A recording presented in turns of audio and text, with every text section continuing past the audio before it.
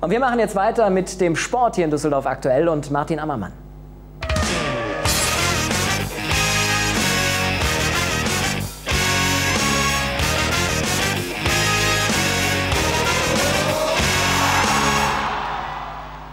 In Mettmann wurde gestern Basketball gespielt. Die NRW Street Basketball Tour macht Station in 16 Städten in Nordrhein-Westfalen und mitmachen kann jede Mannschaft, die drei Leute und einen Ersatzspieler stellen kann. Fast 200 Teams haben sich dafür gestern alleine in Mettmann gemeldet. Pascal Leitern war vor Ort.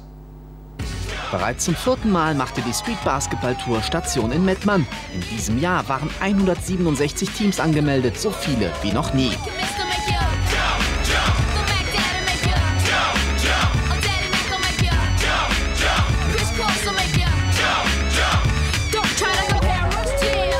Insgesamt neun Kategorien gingen Kinder, Jugendliche und Erwachsene auf Korbjagd. Den Siegern winkte eine Teilnahme am Finale der Tour in Münster. Die persönlichen Ziele hatten sich fast alle Teams hochgesteckt. So in erster Linie eigentlich äh, zu gewinnen, aber sonst eigentlich halt äh, Spaß haben, mit Freunden halt hier treffen und äh, ja. Ja, unser Ziel ist auf jeden Fall also gewinnen oder nichts. Auf jeden Fall für uns gibt es keine andere Option. Also wir sind nur hier, um zu gewinnen. Also wir haben uns erstmal vorgenommen, viel Spaß zu haben, trotz schlechten Wetters und ähm, einfach ja, möglichst weit zu kommen natürlich, aber dabei auch Spaß zu haben hauptsächlich. Borders Paradise!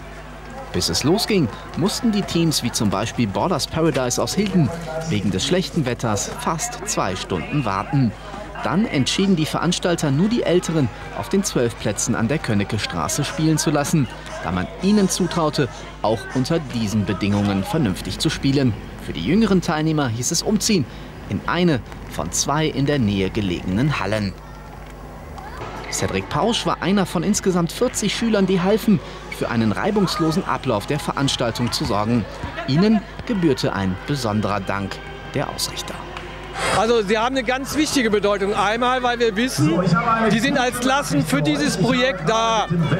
Die helfen morgens ab 9 Uhr mit dem Aufbau für die 12 Courts. Da ist sehr viel zu tun. Gleichzeitig sind sie auch zuständig als Court Watch, als Court Beobachter, weil bei dem Street Basketball gibt es keine Schiedsrichter. Es gibt diese Beobachter, die nur im Extremfall mal eingreifen. Bei den Herren gehörten das Team von Takeover hier im Angriff sowie das verteidigende Dynamic Squad zum Favoritenkreis. Denn ihre Spieler wie John Lopez Pedro sind sonst alle in der ersten Regionalliga aktiv. Pedro war es auch, der diesem Spiel seinen Stempel aufdrückte und so dafür sorgte, dass seine Mannschaft ins Halbfinale einzog. Am Ende reichte es für Takeover zu Platz 3. Auf diesem fanden sich auch die Spielerinnen von Ballers Paradise in der Damenklasse wieder.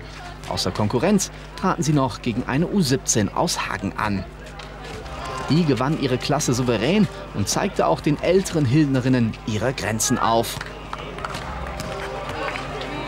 Den Unterlegenen machte das jedoch nichts. Ja, also das war ja nur ein Freundschaftsspiel sozusagen, weil äh, unsere Gegner nicht angetreten sind. Und also das ist natürlich auch äh, eine andere Liga gewesen, aber es hat halt auf jeden Fall Spaß gemacht und man lernt ja auch immer was, wenn man gegen Bessere spielt. Und deshalb durften sich bei der Street Basketball Tour auch alle als Gewinner fühlen.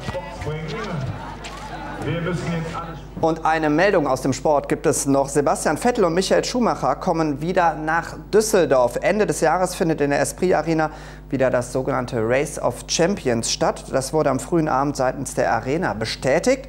Bereits im letzten Jahr gab es die Veranstaltung in Düsseldorf. Für dieses Jahr wurde sie kurzfristig von Frankfurt nach Düsseldorf verlegt. Das war's vom Sport.